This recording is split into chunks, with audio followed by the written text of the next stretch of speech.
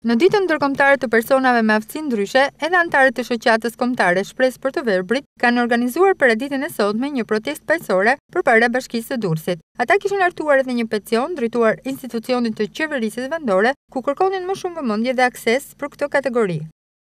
Kërkesë, drejtuar kryetarit të bashkisë Durrës, zonja Emiriana Sako, sot më datën me rastin e tre dhjetorit, ditës ndërkombëtare të personave me aftësi të kufizuar, Shoqata Kombëtare Shpresë për të Verbrit, në këtë demonstrim përpara bashkisë, në mbrojtje të lirive dhe të drejtave të personave me aftësi të kufizuar dhe veçanërisht të të verbërve kërkojmë, një.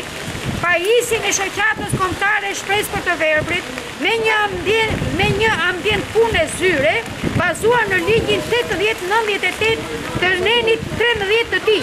Dy, Vendosja e semaforëve akustikë me qëllim bërjen më të lehtë përshkueshmërinë e qytetit nga të verbrit.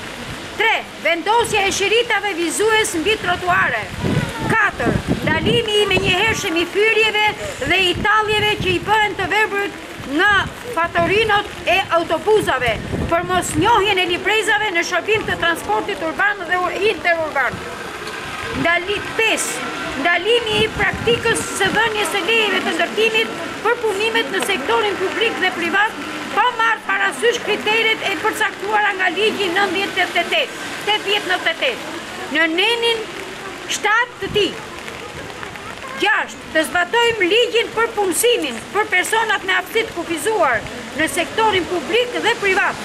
Shtatë, të hartojmë politika bashkëpunimi me shoqatat dhe organizatat e aftësisë së kufizuar në përmirësimin e jetës ekonomike dhe atë social-kulturore, për integrimin e tyre në shoqëri dhe në mbrojtjen e tyre nga diskriminimi.